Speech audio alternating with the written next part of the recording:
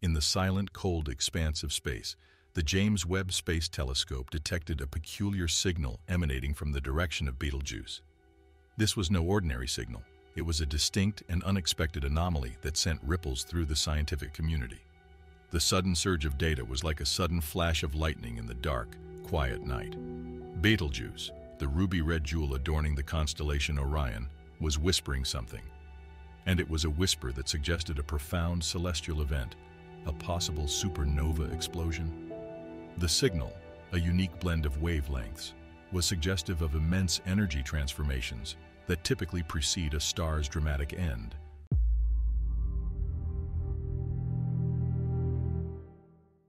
The data, a string of numbers and curves on the screens of astronomers, started painting a tantalizing picture. It hinted at internal processes within Betelgeuse, a turmoil unseen from our earthly vantage point.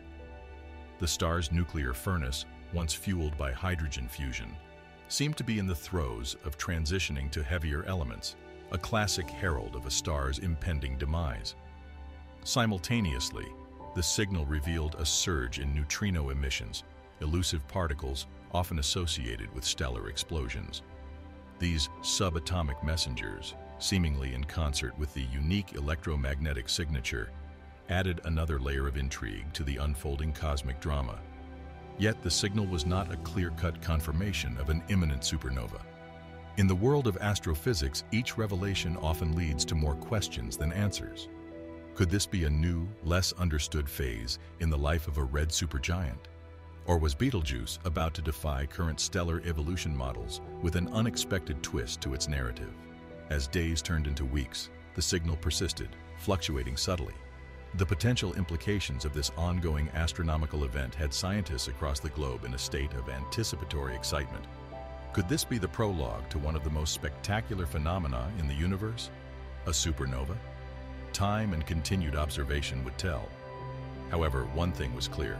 Betelgeuse had become an even more compelling enigma, a beacon of fascination in the celestial seas, pulling us deeper into the captivating world of cosmic exploration and discovery.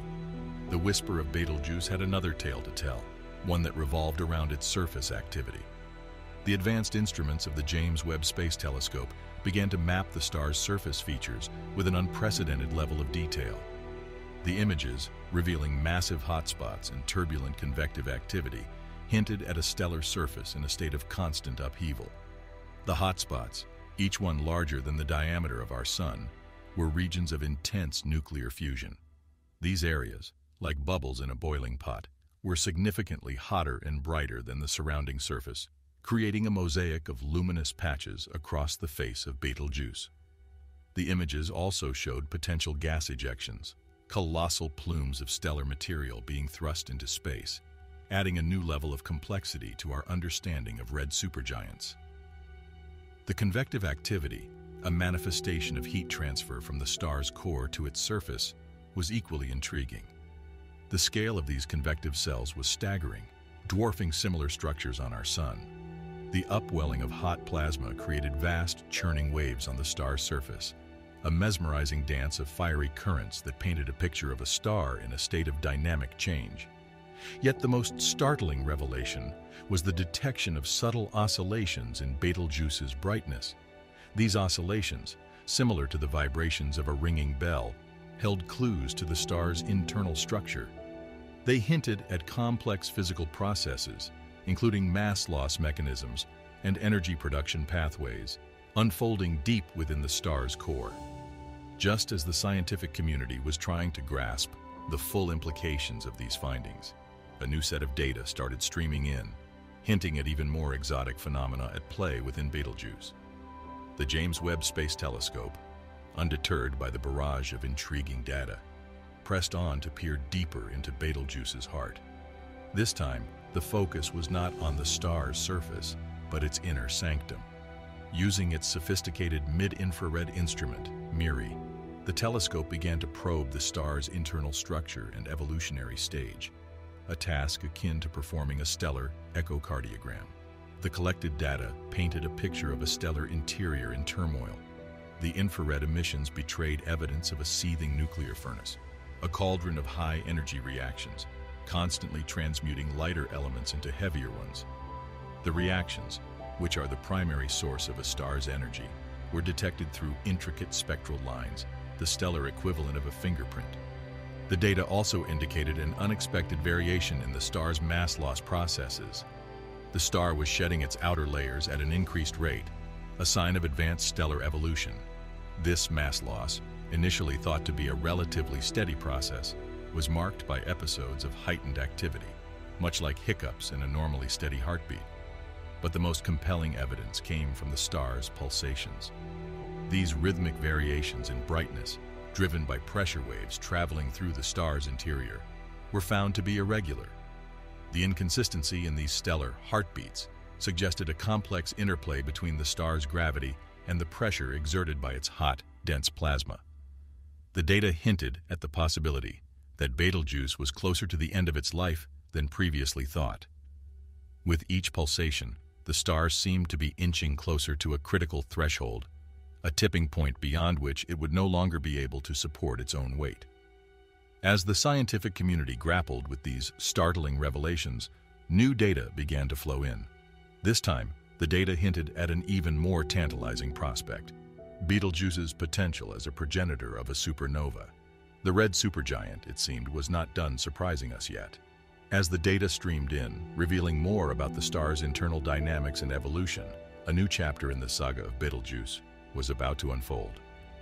As the data from the James Webb Space Telescope continued to stream in, the focus shifted to one of the most perplexing puzzles in astrophysics, the supernova progenitor conundrum.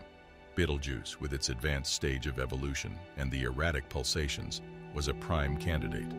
The real question was not if but when Betelgeuse would explode into a supernova. The star's age was estimated through intricate stellar modeling, factoring in its mass, brightness, and the abundance of various elements in its spectrum. However, these models, as sophisticated as they were, could only provide a rough estimate. Betelgeuse, it seemed, refused to be pigeonholed by our terrestrial timelines. The star's internal dynamics, studied through its pulsations and infrared emissions, suggested a volatile environment marked by turbulence and high-energy processes. As the core's hydrogen supply dwindled, heavier elements like helium, carbon, and oxygen began to fuse, releasing even more energy. This fusion process, the star's desperate struggle for survival, was a ticking time bomb. The JWST, ever vigilant, began to detect subtle shifts in the star's spectral lines, these shifts, invisible to less sophisticated instruments, were signs of a rapidly changing interior. The core's pressure and temperature were rising at an alarming rate, suggesting an impending supernova explosion. However, a surprising twist was the detection of an increase in the star's neutrino emissions. Neutrinos, elusive particles that rarely interact with matter, are produced in large quantities during a supernova explosion. This spike in neutrino emissions hinted at a core collapse, the precursor to a supernova event. As the tantalizing possibility of witnessing a supernova in our cosmic backyard became more real, a sense of anticipation gripped the scientific community. However, the star, as if aware of our watchful eyes, remained enigmatic as the telescope continued to monitor Betelgeuse, a peculiar anomaly in the star's spectral lines emerged, hinting at an unexpected revelation. As the mystery of the spectral anomaly deepened, a new endeavor began. The scientific community, armed with data from the JWST, launched a concerted effort to decipher the complex puzzle that Betelgeuse had presented. The anomaly was a whisper in the cacophony of cosmic signals, a subtle yet undeniable deviation in the star's electromagnetic radiation. A new hypothesis emerged, could this be a sign of a hitherto unknown stellar phenomenon? A team of astrophysicists started constructing complex computational models, pushing the boundaries of stellar physics. The models, fed with the anomaly data, started showing unprecedented results. It seemed Betelgeuse was not just a ticking time bomb, but also a laboratory of cosmic proportions, conducting experiments that defied our understanding of stellar evolution. This new revelation sent ripples through the scientific community. It was as if Betelgeuse was rewriting the rules, adding a new chapter to the science of stars. It wasn't just about when Betelgeuse would explode, but what new cosmic secrets it would reveal before its inevitable end. With the JWST serving as our cosmic eye, we watched as Betelgeuse continued its celestial performance, the spectacle captivating us. This new anomaly, detected in the far infrared wavelengths, was unlike anything previously observed in a star of Betelgeuse's class. It was a ripple, a distortion in the star's spectral signature, as though space-time itself was being subtly twisted around the star. The theorists suggested a phenomenon termed stellar quantum entanglement, a concept that until now had been purely theoretical, confined to the realms of exotic star models. Stellar quantum entanglement, a product of the immense gravitational and energetic conditions within such massive stars, could lead to unique oscillations, influencing the star's energy output in ways we're just beginning to comprehend. Betelgeuse, it seemed, was not just teetering on the brink of a supernova, but also embroiled in a complex dance of quantum mechanics and gravity. If confirmed, this discovery would have profound implications. Stellar quantum entanglement could provide new insights into the stellar life cycle, the nature of supernova, and even the origins of the universe itself. It could challenge our understanding of quantum mechanics and general relativity, the two pillars of modern physics, driving a revolution in theoretical physics. As the research teams delve deeper, analyzing the Webb telescope's data with new algorithms, the initial results seemed promising. The spectral ripple, the suspected signature of quantum entanglement, was consistent across multiple observations. The community was buzzing with anticipation, the possibility of a new paradigm in stellar physics seeming increasingly likely. However, as we continued to probe the mysteries of Betelgeuse, another unexpected observation emerged.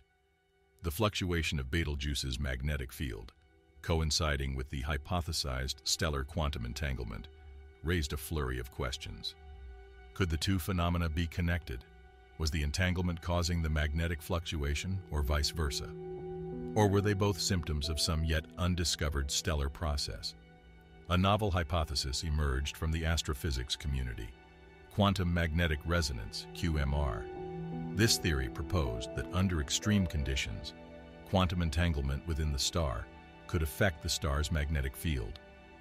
The idea was that quantum entangled particles, despite being physically separated, could still affect each other's magnetic properties. It was a radical idea, one that proposed a direct connection between quantum physics and macroscale phenomena. The implications were staggering. If QMR was real, it would not only revolutionize our understanding of stellar physics, but also have far-reaching implications for quantum physics and magnetism. It could potentially reconcile the two disparate scales of nature, the quantum and the cosmic, into a unified theory. As the astrophysicists raced to gather more data and refine their models, a new pattern emerged in the spectral data. The spatial oscillation of Betelgeuse's magnetic field led to a pioneering theory. Stellar magnetic wave propagation, SMWP. This posited that the magnetic field of such a massive star could exhibit wave-like properties, similar to light or sound. Observations suggested that these magnetic waves could be propagating through the star, causing the observed spatial oscillations. This was a groundbreaking idea, combining the principles of wave mechanics with stellar physics, providing an unexpected twist to our understanding of stellar phenomena. The discovery of SMWP promises a new era in stellar astrophysics, forever changing how we perceive the magnetic landscapes of the cosmos. Thank you for joining this galactic journey as we unraveled the mysteries of Betelgeuse. If you found this exploration as fascinating as we do, please like this video and subscribe to our channel for more deep dives into the cosmos. Now for a different kind of space adventure, click on the video appearing on your screen. But before you go, here's a thought to ponder. If the stellar magnetic wave propagation theory is confirmed, how might this alter our understanding of star formation and the life cycles of other massive stars? Share your thoughts in the comments below. Until next time, keep looking up.